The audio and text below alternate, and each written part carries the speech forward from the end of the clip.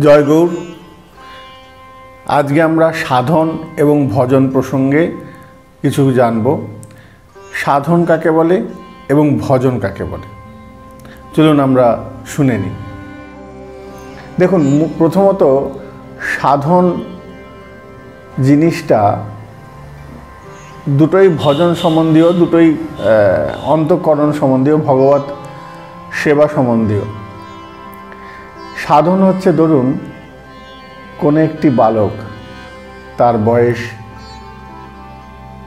ওই চার পাঁচ বছর বয়স, এখন সে সবে স্কুলে যাওয়া শুরু করেছে। তাই মা প্রতিদিন তার চুল আছড়ে দিচ্ছে তাকে স্নান করিয়ে দিচ্ছে, তারপর মুখে পাউডার মাখিয়ে দিচ্ছে, জামা পরিয়ে দিচ্ছে, প্যান্ট পরিয়ে দিচ্ছে, তাকে সুন্দর করে সাজিয়ে মা খাবার রান্না করে হাতে মেখে তারপর মা সেটা খাইয়ে দিয়ে পিঠে ব্যাগ দিয়ে তারপর স্কুলে পাঠাচ্ছে। এই যে সমগ্র প্রক্রিয়াটা, এই প্রক্রিয়াটার নাম হচ্ছে সাধন। আর ভজন কি? না, যখন মাকে আর বলতে হয় না, বাবা ওঠে, স্কুলে যেতে হবে, বাবা ওঠে, তাড়াতাড়ি করে ওঠ, স্কুলে যেতে হবে, এই সময়টা যখন বলতে হয় না, ছেলে যখন কোনো কলেজে বা ইউনিভার্সিটিতে পড়ছে, তখন মাকে বলতে হয় না, ঘুম থেকে ওঠ খা রে, স্নান কর এগুলো বলতে হয় না। কেন? না তখন ওই ছেলেটি স্বাভাবিকভাবেই তার এই যে নিত্যকর্মগুলো, সেগুলো সে নিজে স্বেচ্ছায় করে। ঠিক তেমনি। সাধন হচ্ছে আমাদের যেমন ওই বাল্য বয়সের ওয়ান টু থ্রি ফোর যে স্টুডেন্টরা যেমন থাকে, মা প্রতিদিন শিখিয়ে দেয়, বলে দেয়, এইটা করতে হবে, এইটা করতে হবে, এই জিনিসটা করতে হবে, এটা করো এটা করো।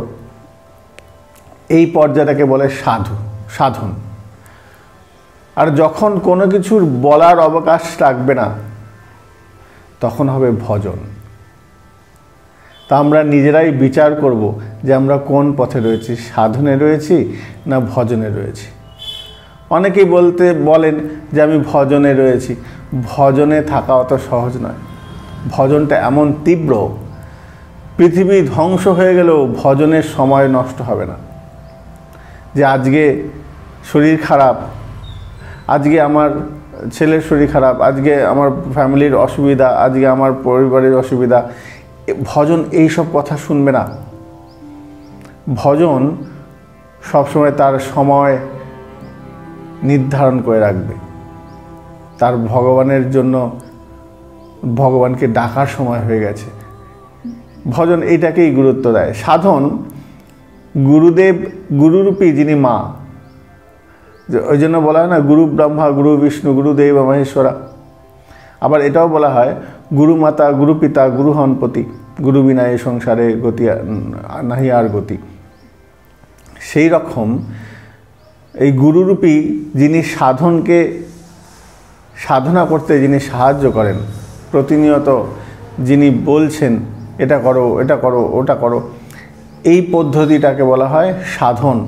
এবং তার জন্য গুরু সহায়তার প্রয়োজন আছে, অতি অবশ্যই।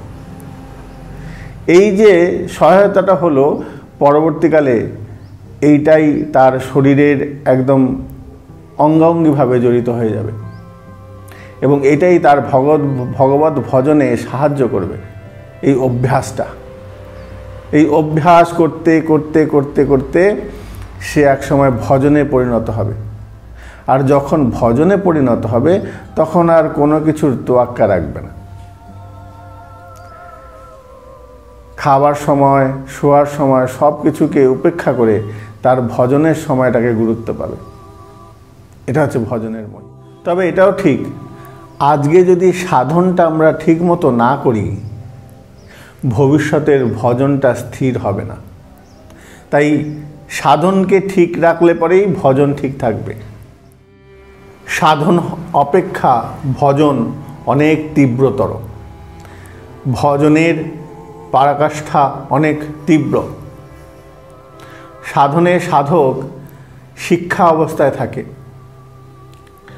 আর ভজনে তখন সাধক ভগবত চরণ প্রাপ্তির আকাঙ্ক্ষায় হাবুডুবু খায়।